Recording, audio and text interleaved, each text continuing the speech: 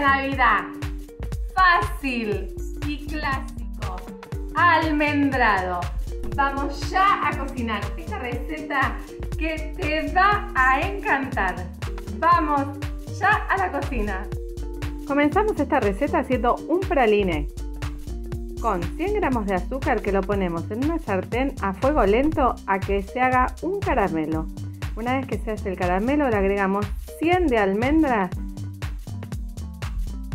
Lo mezclamos bien con una cuchara de madera y lo pasamos a una placa aceitada o con papel aluminio con un poquito de fritolín y lo dejamos enfriar. Una vez que enfrió lo vamos a cortar con la mano y lo vamos a procesar o lo vas a cortar con cuchilla. Por supuesto que si lo querés comprar hecho, lo podés comprar hecho. Esta manera es para hacerlo caserito, caserito y que te quede así de rico. Lo reservamos. Continuamos la receta para hacer este rico almendrado. Ponemos 6 yemas y un huevo a batir a baño María con 150 de azúcar blanca. Lo batimos hasta que quede punto letra. Por otro lado vamos a preparar 14 gramos de gelatina sin sabor con 100 centímetros cúbicos de agua fría. Lo vamos a mezclar y lo vamos a dejar hidratar. Una vez que hidrató, así como te estoy mostrando, lo vamos a llevar al microondas 15 segundos. Y lo vamos a incorporar a la mezcla anterior. Una vez que tenemos integrado todo esto, por último vamos a preparar y batir 400 centímetros cúbicos de crema de leche.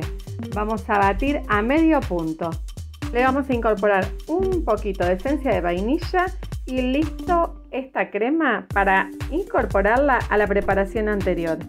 Por último, unimos estas dos preparaciones y listo nuestro almendrado. Integramos bien bien estas preparaciones y preparamos un molde de budín inglés que le pones un poquito de agua, lo mojas para que se adhiera el fil o separadores de nylon o podés ponerle acetato en los bordes para poder después desmoldarlo con más facilidad.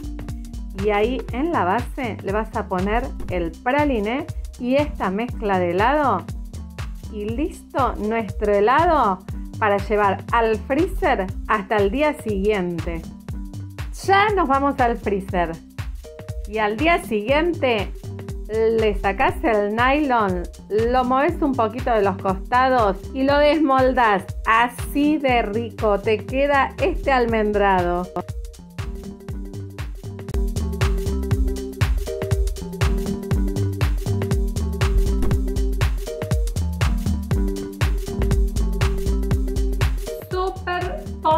favorito.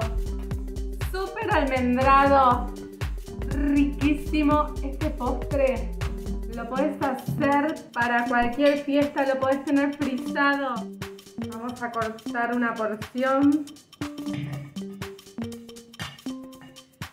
Por supuesto que lo puedes acompañar con una salsa de chocolate súper, súper rica que la haces con la misma cantidad de crema que de chocolate. Súper, súper fácil. Hace esta receta, contame cómo te salió y disfruta en estas fiestas un rico helado casero. Te mando un súper, súper beso y hacelo y contame cómo te salió.